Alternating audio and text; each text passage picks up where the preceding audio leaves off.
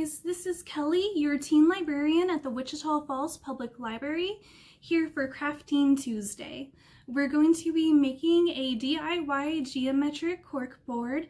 What you'll need is your cork board or cork bulletin board. You're going to need paints in the color of your choice. I have mine here. You're going to need painter's tape or any other good sticking tape that you have lying at home, and a paintbrush or paintbrushes for your paints.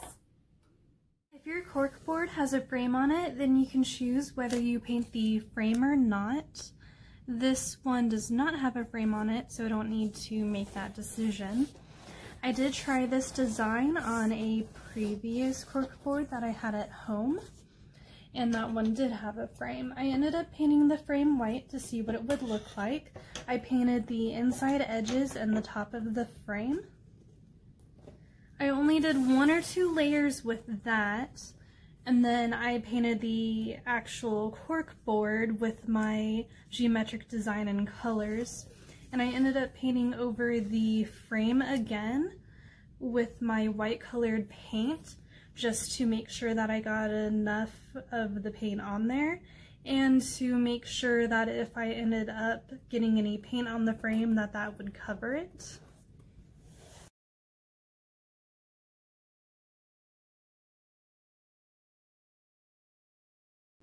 The next step is that you will use your tape to create a geometric design of your choice. I used washi tape on my previous one, which I can show you a picture of that at the end of the video, as well as this one. I will be using painter's tape today, so it will stick a little bit better to this different cork board. This one will provide a little bit thicker lines. If you want thinner lines, you can use washi tape. And it's okay to keep on removing or readjusting the tape until you get a design that you like.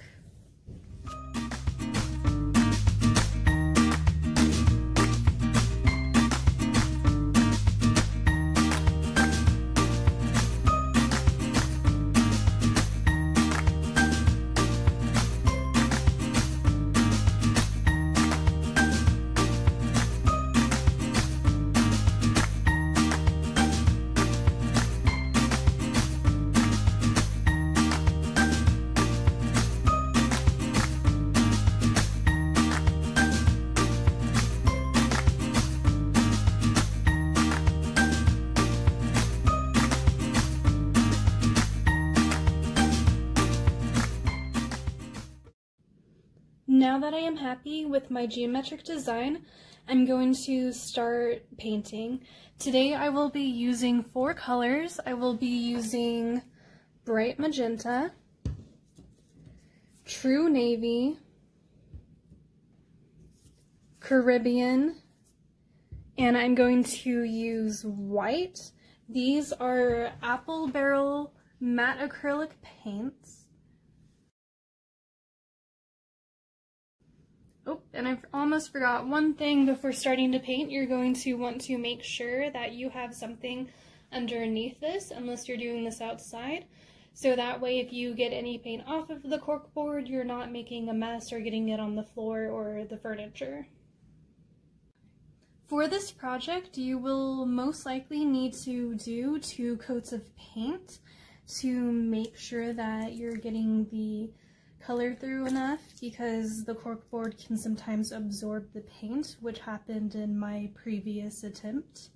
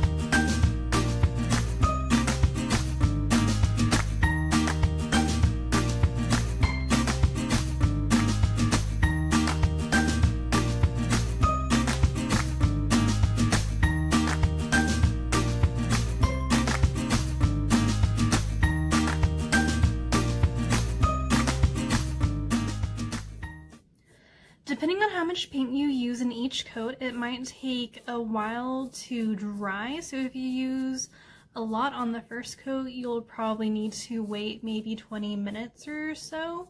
And so you do the second coat. And I just finished my first coat, so I'm going to wait about 10 to 20 minutes before I start doing my second coat. I let the first coat dry for about 15 minutes and now I'm about to apply the second coat.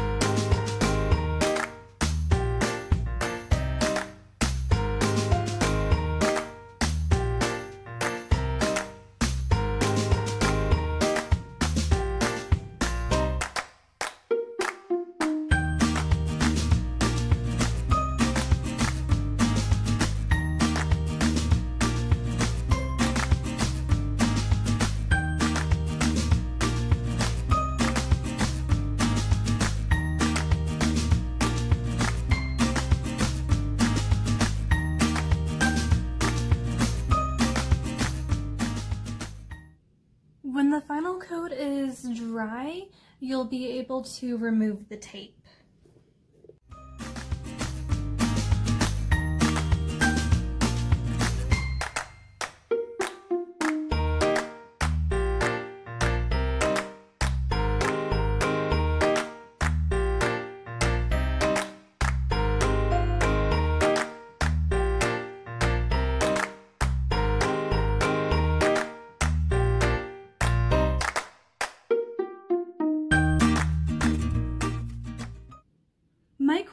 Turned out like this. If y'all end up trying this craft yourself, make sure that you post the pictures in the comments below. I really do hope y'all enjoyed this activity, and I'll see y'all next time.